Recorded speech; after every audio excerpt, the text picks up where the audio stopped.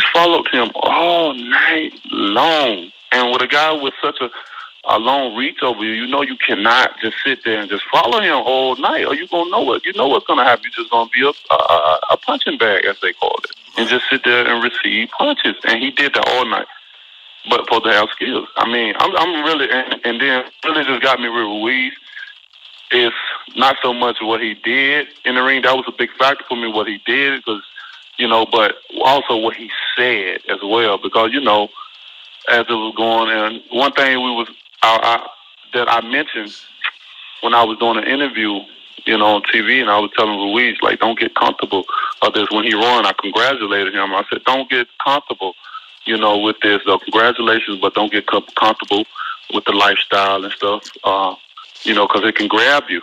It can it can grab you, and but you know, you're just beginning. There's more. There's more to this. It can be more out here for you and your family, bro. Absolutely. Don't just dwell on this.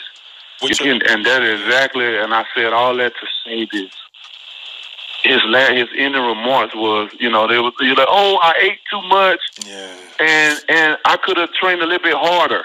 I'm like, what the fuck you talking about? That is the exact opposite of what it takes to get. That's the opposite of how you, of what it takes to become a champion. What do you mean? But you was telling the world, you was telling us as you training that you you're not letting it get to your head and all that. Oh, how it's such a blessing, and it is. But you can't come and say the opposite and then say, but the rematch, the third fight, I promise I'm gonna get in this gym and train. I'm like, what are you talking about?